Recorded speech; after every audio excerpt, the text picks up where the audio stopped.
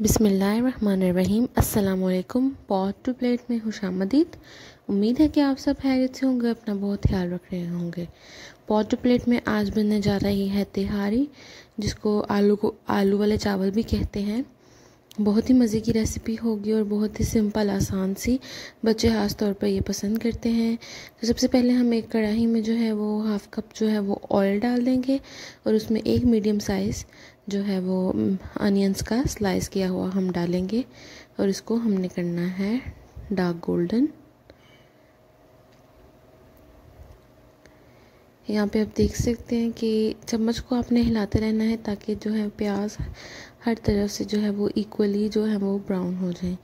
जब थोड़ा ऐसी शक्ल आ जाएगी तो आप टमाटोस और आलू जो है वो एक साथ डाल देंगे।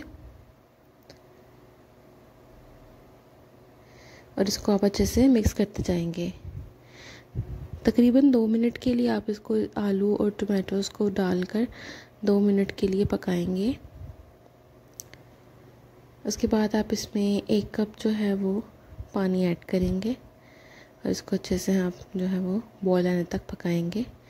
जैसे ही इसमें बॉयल आना शुरू हो जाएगा तो हम इसमें अपने बाकी मसाले डालेंगे। सबसे पहले हमने यहाँ पर डाला था जिंजर, गार्लिक, सुरख मिर्चें डाली हैं, हमने हरी मिर्चें डाली हैं, हल्दी डाली है, ज़ीरा डाला है और थोड़ा सा साबुत धनिया डाला है और उसके बाद इसको अच्छे से हमने भून लेना है।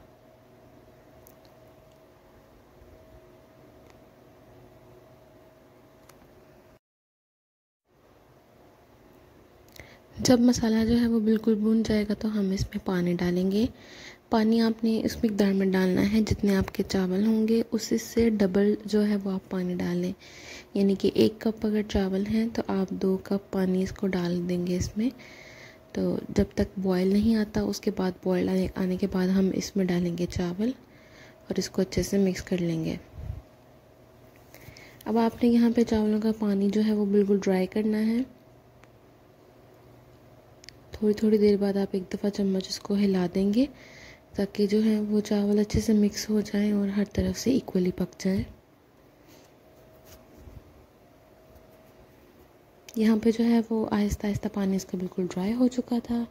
अब यहाँ पे बिल्कुल पानी जो है वो बिल्कुल थोड़ा सा रह गया था तो हमने इसको फाइव मिनट्स के लिए दम पर रख दिया। यहाँ पे हम इसको फाइव मिनट्स के लिए दम दे देंगे।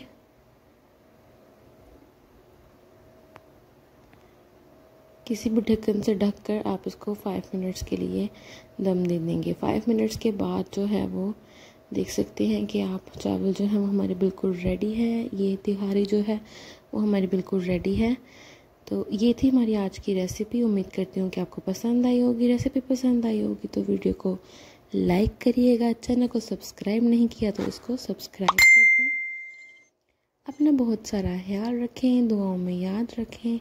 मिलते हैं हम किसी नई वीडियो के साथ। तब तक के लिए इजाज़त, अल्लाह हाफ़िज़।